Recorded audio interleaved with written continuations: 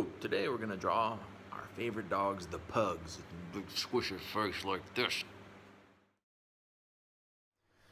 So today we are going to be able to draw. We have the privilege of drawing the cutest thing that possibly exists on this dear planet. A pug. That's right. A pug may be the cutest thing in existence. Hey Brady, you've got a dog. I know, pugs are cuter. Hey Brady, like, what about you? You're like, your kids. You're like, cool, very cute. However, pugs cuter. All right, how do we draw a pug? Like with many things that Brady draws, start with a circle.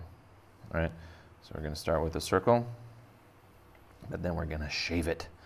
Right, so we're going to shave that top part of that circle off. So it's just a little, little, little haircut.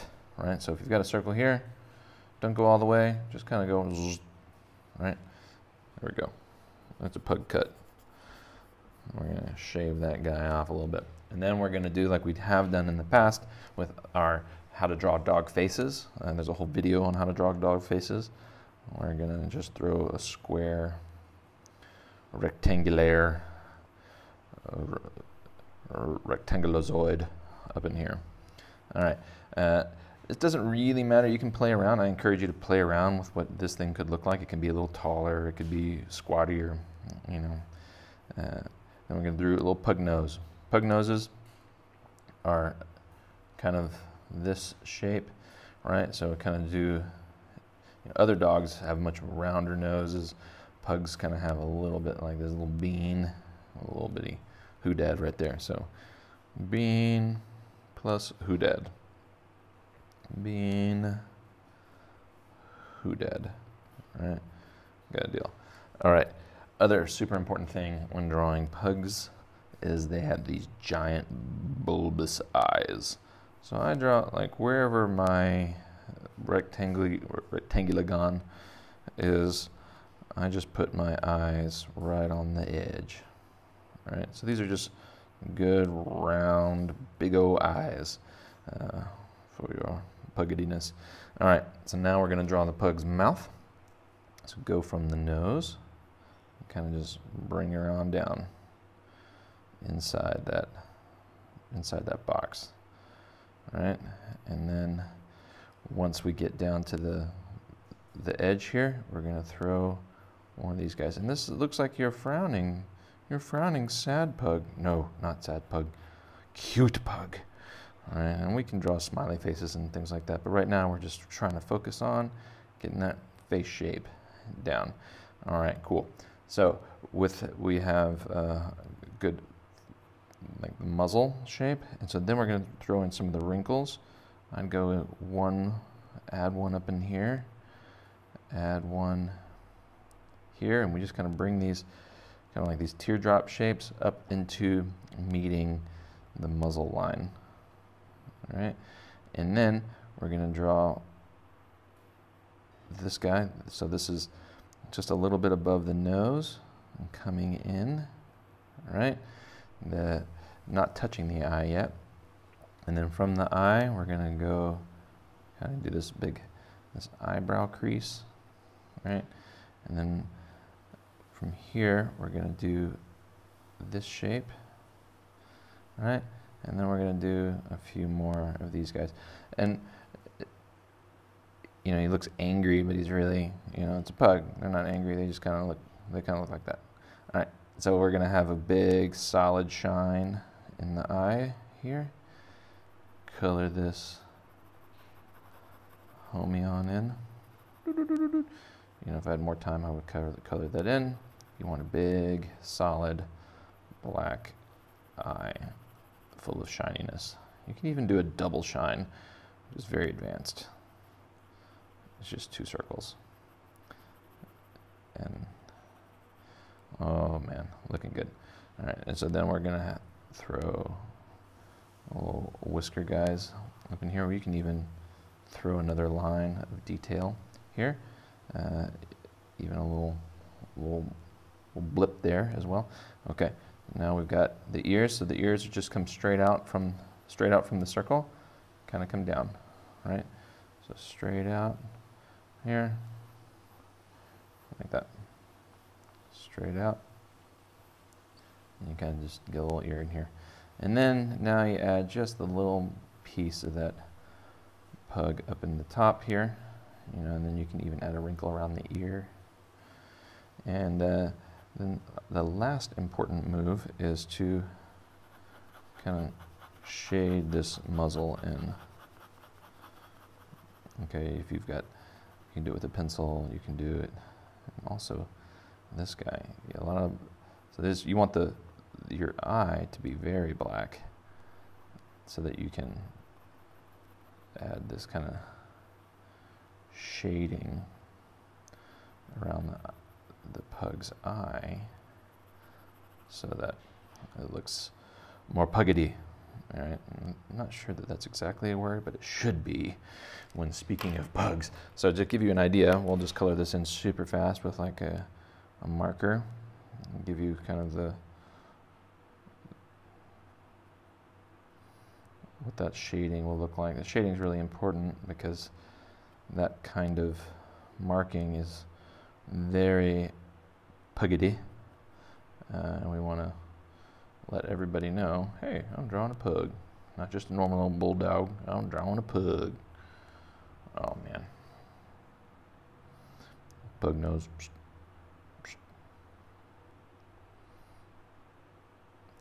All right, good. Uh, also, get up in there on these ears. So, so your move, pugging, is we want to kind draw the, the same kind of shade on the ears, around on the eyes here, and then also on the pug's mouth.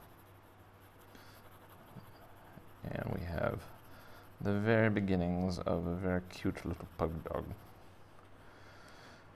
Possibly one of the most dangerously cute animals on the planet.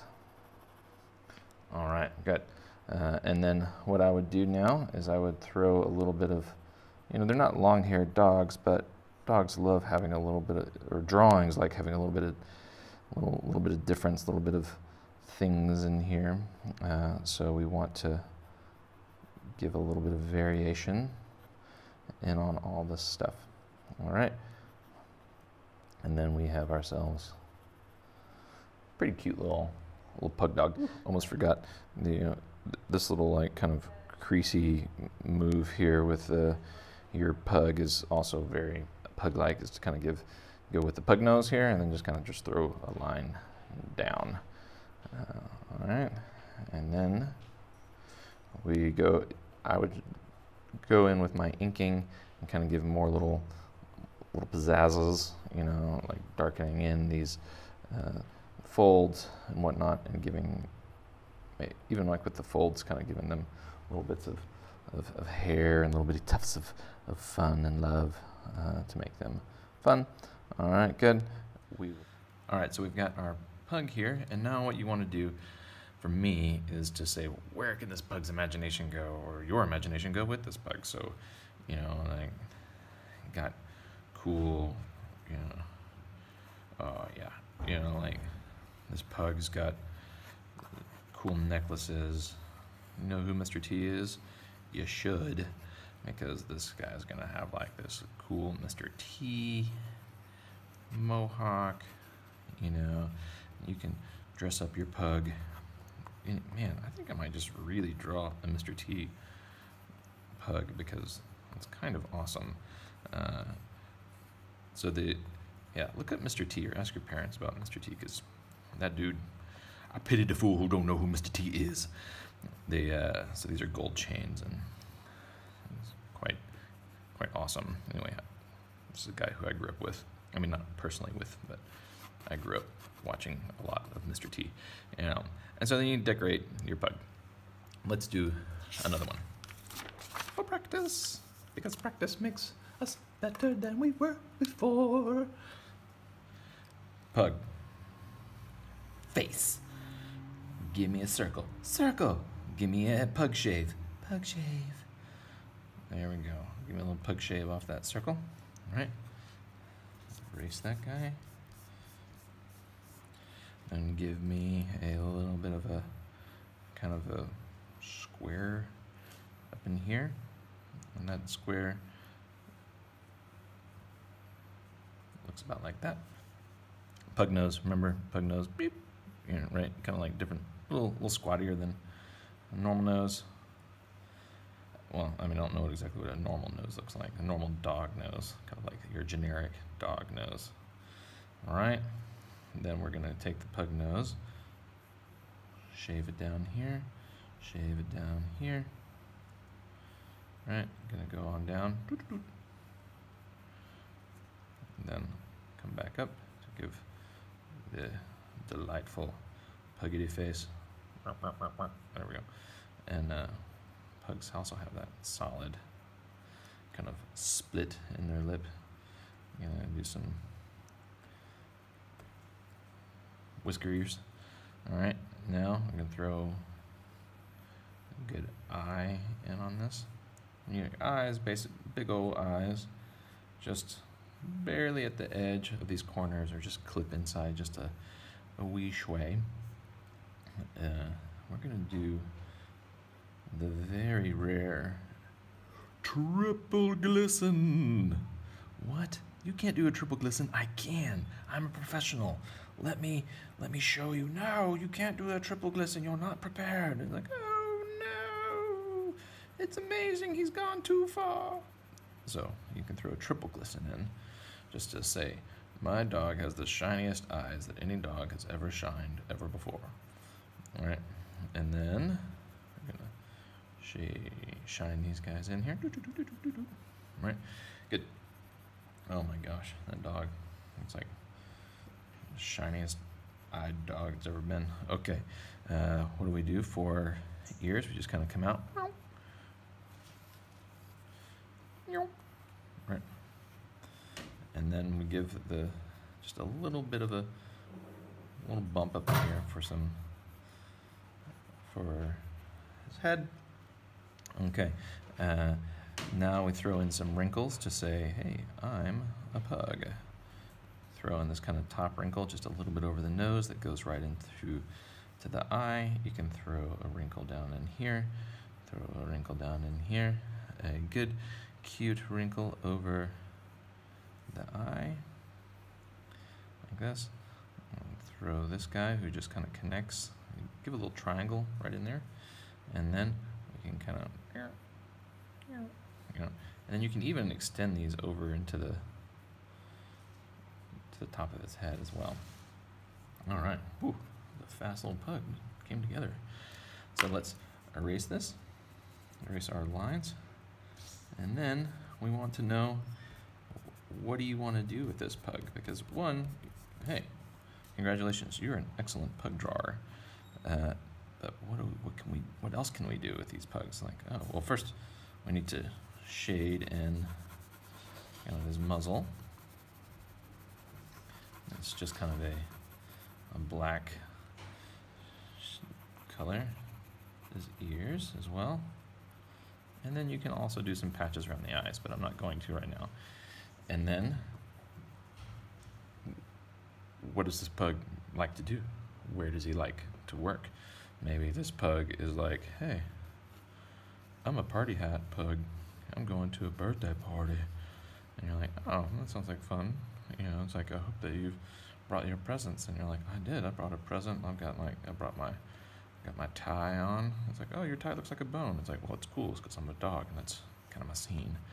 And you're like, oh, I've got my, my bone tie, you know, and it's to have a, it's a formal birthday party, as pugs are very formal, you know, and they're, and, uh, but maybe he also has, you know, um, like maybe a flower crown, you know, because this birthday party is taking place at a uh, an indie music festival, and so the, the fact that you are wearing a birthday hat and a flower crown, and then from your ears hang glow sticks because it's like what this is a this is a swinging party. What this is about, you know, we got glow sticks hanging off our ears, and you know, dress your pug up because pugs don't like just to be like having a a normal day.